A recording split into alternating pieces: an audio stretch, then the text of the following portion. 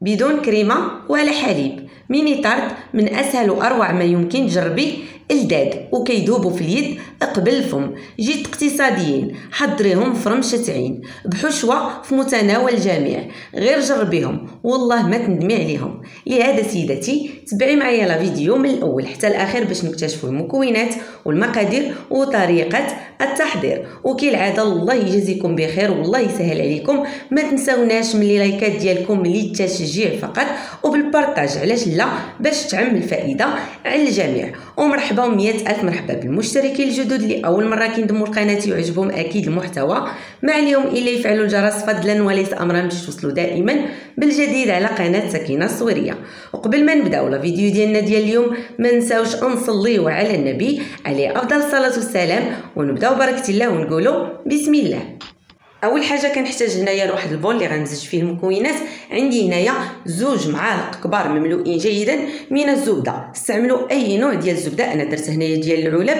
كل ملعقة كتوزن 50 غرام. أي في المجموع ديال الزبدة 100 غرام ديال الزبدة. كذلك كنحتاج هنايا كأس إلا ربع من سكر الخشين أي سنيدة أي ما يعادل 80 غرام ديال السكر الخشن كنمزج الكل جيدا حتى كنحصل على واحد القوام اللي يكون كريمي. يعني الزبدة وداك سنيدة تكون سنيدة دابت لينا مزيان مزيان مع الزبدة.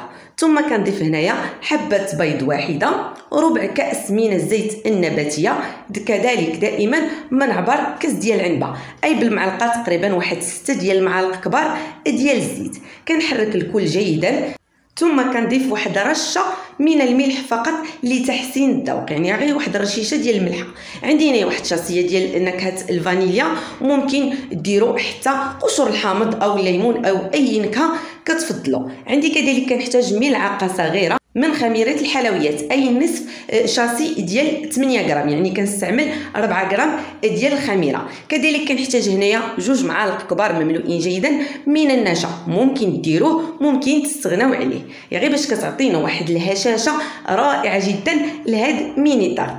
كذلك كنضيف هنايا كأس مملوء جيدا في الأول من الدقيق. دقيق الخاص بالحلويات. أي ما يعادل تقريبا واحد 120 غرام ديال الدقيق. كنحركها مزيان مزيان عاد كنبدا نضيف الكمية اللي تبقات ليا ديال الدقيق بالتدريج. يعني ما نزعموش على الكمية كلها اللي غادي نعطيكم. دفعة واحدة كنحتاج 250 غرام ديال الدقيق. وأنتم على حسب النوعية ديال الدقيق ديالكم. وعلى حسب الحجم ديال الحبة ديال البيض غادي تبقاو تضيفوا الدقيق بالتدريج. ضفت الكاس الأول ثم ضفت الكاس الثاني وكنجمع. يعني كيف ما كتشاهدوا معايا غير كنلمها. ما كنعجنهاش. دائما العجين اللي كتكون فيه الزبده ما كنعجنوهاش. حيت شحال ما خدمناها كيبقى دائما كنقولوا مازال خاصنا نزيدوا الدقيق.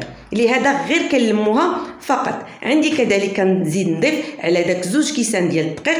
كنزيد هنايا ربع كأس من الدقيق أو نصف كأس من الدقيق. الدقيق كنبقاو نضيفوه بالتدريج. يعني في الكمية اللي كفاتني ديال الدقيق 250 غرام ديال الدقيق الخاص بالحلويات. كنبقى نلمها حتى كنحصل على هذا العجين هذا. يعني تيكون لين شيئا ما. ما كيتفتتش ما بين اليدين وكذلك ما كيلتصقش. يعني ملي كنشكلو كويرات ما كيت ما كيتشققش ليا وما كيسحلش. يعني كيبقى متماسك كيف ما كتشاهدوا معايا في الصورة ونتمنى الشرح يكون واضح وكذلك الصورة تكون واضحة. كنشكل واحد الكويرات اللي غادي نديرهم في القالب بالنسبة لهاد آه، mini tarte ديالي ممكن تحتاجوا القالب ممكن ديروا غير في داك الكويرطات ديال les madeleines أو les cupcakes هما راهم خدامين. غير هذا القالب هذا كنحضروه دفعة واحدة وكتجينا الطريقة أكثر عملية. يعني اللي ما توفرش عنده هذا القالب هذا ديال آه، les madeleines أو les cupcakes ممكن يخدم غير في لي كويرطات ديال les cupcakes فقط. كيف ما كتشاهدوا معايا كناخذ هنايا داك الكويرات وكنحط كل وحدة على حدة من قبل دهنت واحد الدهنه خفيفة بالزيت باش نتجنب الالتصاق على العموم هي ما تلاصقش لينا غير كاحتياط. كناخذ هنايا الكاس اللي غيجيني العبار ديالو باش نطبع به أي باش نضغط به على العجين كندوز القاع ديال الكاس في شوية ديال الدقيق باش ما يلتصقش ليا. وبهذه الطريقة هذه كنكون كنشكلهم دفعه واحدة وبواحد السرعة فائقة. وكذلك منين نبغيو نديروهم حتى في الكويغطات نديرو نفس العملية غير منين نكونوا كنضغطوا بالكاس نقوموا بهذا العمل. يعني كنبقاو نضغطوا وحنا كندوروا بهذا الشكل هذا باش كيجيونا مقادين وطالعين شوية من الأعلى. يعني نحاول نطلعوهم شوية من الأعلى. بالنسبة للحشوة كندير هنايا ملعقة صغيرة مملوءة جيدا من المربى. أي ال confiture أي نوع متوفر عندكم. ممكن ديروا confiture ممكن تحشوهم بال crème pâtissière ممكن ديروا أي حشوة مفضلة عندكم. واللي متوفر عندكم غادي ديروه على فكرة بالنسبة لهذا العجين هذا خليت منه تقريبا الربع. يعني ما خدمتش بهش كامل خليت منه الربع باش غادي نغطي به آه، ال mini tarte ديالنا. يعني العجين الأول اللي خدمت به كان لين شيئا ما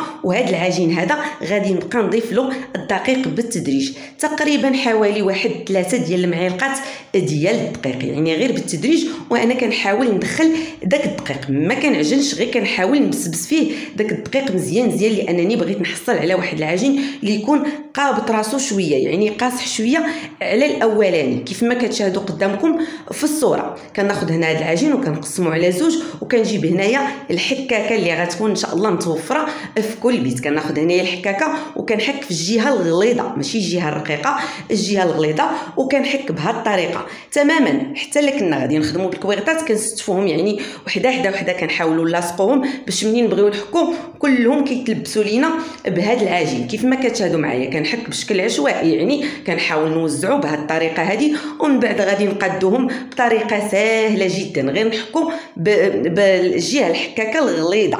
والعجين يكون ناشف شوية إلا كان رطب ما غاديش يتحك لينا وغيبقى يتلصق لينا في الحكاكة وما غيجيش كيف ما بغينا. غير منين نحكو نخليو داك العجين اللي كنحكوه مفوه شوية. يعني منين نبغيو نفرقوه بهذه الطريقة ما نضغطوش نهائيا عليه. يعني غير كنوزعوه بهذه الطريقة بالتساوي وكنقادوه فوق الكويرطات أو فوق الليمون اللي, حضرنا بهذه الطريقة هذه أنا درت الفران ديالي يسخن على درجة حرارة 180 من قبل. مجرد ما كيسخن ليا الفران وفي نفس الوقت كنكون حضرت ال mini tarte ديالي كنوضع لاطا من الفوق يعني كنشعل عليها من الأسفل ما كنشعلوش من الفوق ومن التحت كنشعل من الأسفل حتى كتبدأ. نشوفوها بأنها تبومبات لينا حيت كتنفخ لينا كيضاعف الحجم ديالها غير كتبدأ تنفخ لينا كتبوق شوية كنهبطوها للاسفل وكنقصوا المتوسط حتى كتذهب لينا وكتحمر لينا على هذا الشكل هذا. بحال الشكل ديال الصابلي ما كتاخذ ليناش الوقت بزاف تقريبا ما بين 15 حتى ل 20 دقيقة على نار متوسطة. كيف ما كتشاهدوا لاحظوا معايا دغيا. دي موليتها من المول يعني غير بالسكينه هكا كنحرف غير الجوانب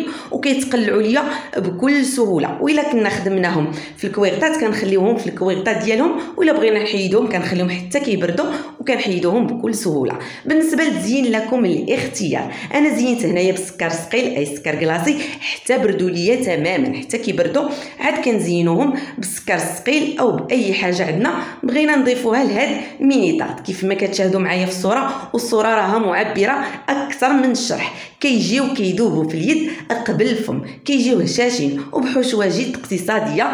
كنتمنى كنتمنى تجربوهم وتردوا عليا الخبر وجد اقتصاديين بغض النظر على اللذة اللي فيهم. نتمنى نتمنى من كل قلبي ينال إعجابكم. la vidéo ديال اليوم وما تنساوناش من اللايكات ديالكم للتشجيع فقط وبال partage باش تعمل فائدة على الجميع. شكرا لكم متابعة ومرحبا بكم دائما مع السهل والسريع على قناة سكينة الصويريه